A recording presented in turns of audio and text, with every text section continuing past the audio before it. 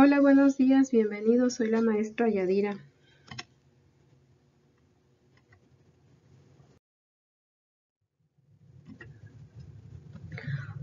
Hoy martes 11 de marzo seguimos felicitando a las mamás por el Día de las Madres, con mucho cariño.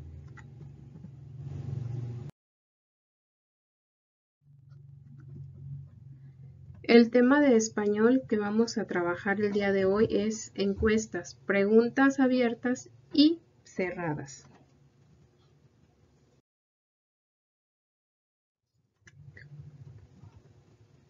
Primero, ¿qué son las preguntas cerradas? Bueno, son aquellas que están planteadas de manera que las personas encuestadas o interrogadas deben responder basándose en una serie de opciones presentadas al encuestador, entrevistado o interrogado. Las características de las preguntas cerradas son las siguientes. Son fáciles de clasificar y de analizar. Solicitan respuestas breves, específicas y delimitadas. Requieren de menor esfuerzo por parte de los encuestados. Limitan las respuestas a la muestra se utilizan generalmente en investigación cuantitativa y son relativamente objetivas. A continuación les voy a mostrar algunos ejemplos de preguntas cerradas. Vamos a ver una encuesta sobre hábitos alimenticios. Una pregunta cerrada es ¿cuántas verduras comes al día? Inciso A, de 0 a 3 verduras. Inciso B, 2 a 3 verduras. Inciso C, más de 3 verduras. Continuando con la encuesta de hábitos alimenticios, otra pregunta cerrada es, ¿consumes bebidas gaseosas? Sí, no o solo en fiestas.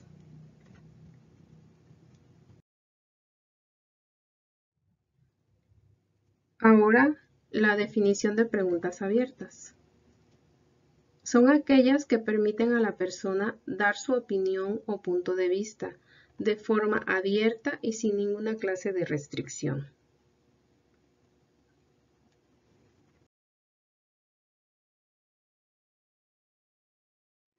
Las características de las preguntas abiertas son las siguientes. Solicitan una respuesta libre, las respuestas son redactadas por el propio sujeto. Provocan respuestas de mayor profundidad. Se utilizan generalmente en una investigación cualitativa. Se usan cuando la información que pueden proporcionar las preguntas cerradas es insuficiente.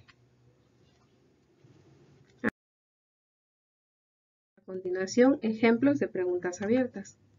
Continuando con la encuesta de hábitos alimenticios, una pregunta abierta es, ¿Por qué debes comer verduras? Una posible respuesta que nos podrían dar es porque tienen muchos beneficios para la salud, contienen antioxidantes, vitaminas, minerales y fibra. Seguimos con hábitos alimenticios. Otra pregunta abierta es, ¿qué opinas de tomar bebidas gaseosas? Otra posible respuesta es, considero que no hay que tomar con frecuencia porque tienen grandes cantidades de azúcar refinada que pueden provocar daños en la salud. Este es el tema que vamos a trabajar el día de hoy en español. Recuerden revisar su cronograma de actividades en el que encontrarán todas las indicaciones pertinentes y la cantidad de evidencias que deben de entregar el día de hoy. También revisen los anexos que trabajaremos este día. Y en la descripción de este video encontrarán los enlaces para los videos complementarios del día de hoy, martes 11 de mayo y del día miércoles 12 de mayo.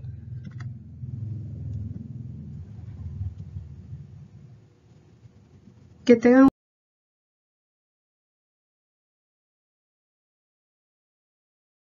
un excelente día. Estas serían las actividades del día de hoy. Cuídense mucho.